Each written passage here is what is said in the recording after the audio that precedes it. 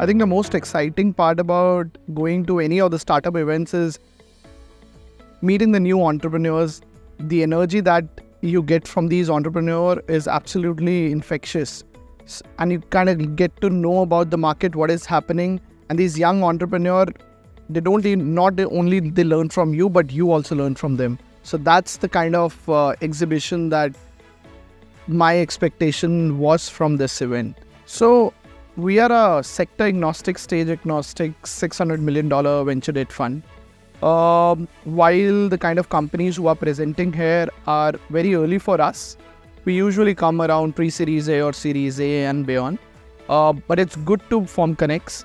Good to, you know, uh, tongue in a cheek comment would be catch them early.